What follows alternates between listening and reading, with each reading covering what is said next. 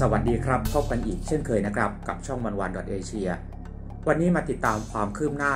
เรื่องการคัดเลือกรถไฟฟ้าสายสีส้มกันบ้าง ที่ล่าสุดนะครับนายศรีสุวรรณจันยา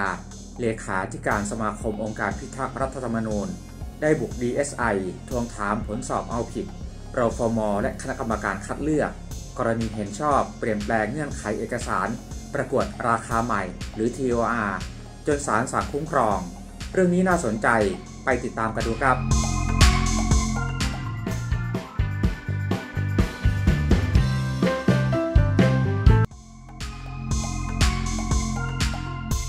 เมื่อวันที่ 21 ธันวาคม 2563 ที่กรมสอบสวนคดีพิเศษ หรือ DSI นายศรีสุวรรณจันยา เลขาธิการสมาคมองค์การพิทักษ์รัฐธรรมนูญ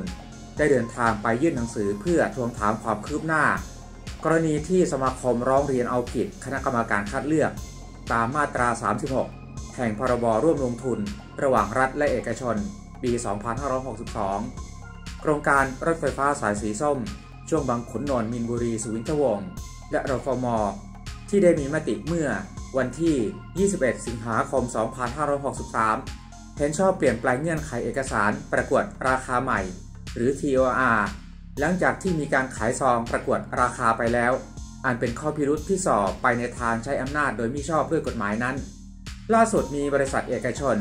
ที่เป็นผู้มีส่วนได้เสียในการเข้าร่วมแข่งขันประกวดราคา ได้ยื่นฟ้องต่อศาลปกครองกลาง เป็นคดีหมายเลขดำที่ 2280ทับ2563 และต่อมาศาลได้มีคำสั่งเมื่อวันที่ 19 ตุลาคม 2563 ที่ผ่านมา ให้ทุเราการบังคับตามหลักเกณฑ์ การร่วมลงทุนของการรถไฟฟ้าขนส่งมวลชน แห่งประเทศไทย ที่แก้ไขเพิ่มเติมและเปลี่ยนแปลงเอกสาร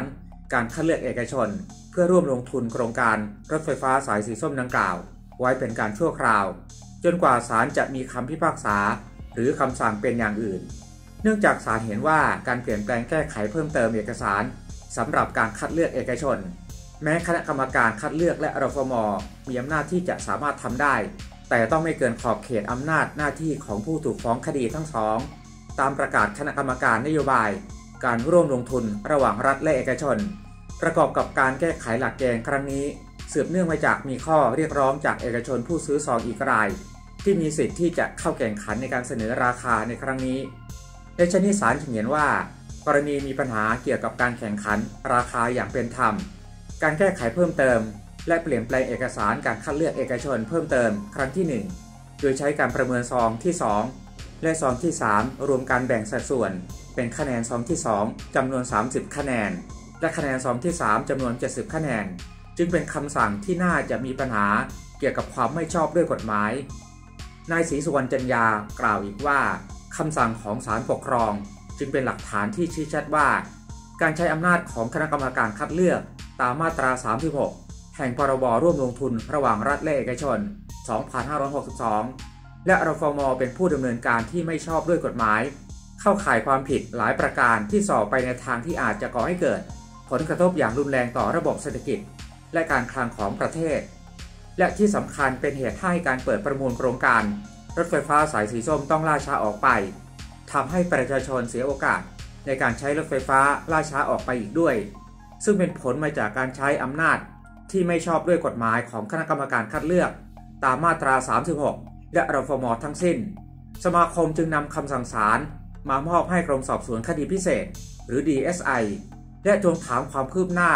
ในการสอบสวนเอาผิดคณะกรรมการคัดเลือก ที่กล้าเปลี่ยน TOR รถไฟฟ้าสายสีส้ม และรฟมที่บางอาจกระทำการดังกล่าวด้วย รถไฟฟ้าสายสีส้มเป็นอีกเส้นทางสำคัญ ที่จะต้องเร่งเดินหน้า เนื่องจากจะช่วยในการแก้ไขปัญหาการจราจรได้อย่างมาก แต่ความโปร่งใสก็เป็นเรื่องสำคัญไม่แพ้กันครับ หากเพื่อนๆเห็นว่าข่าวสารนี้มีประโยชน์รบกวนกดติดตาม กดถูกใจและกดแชร์ด้วยครับ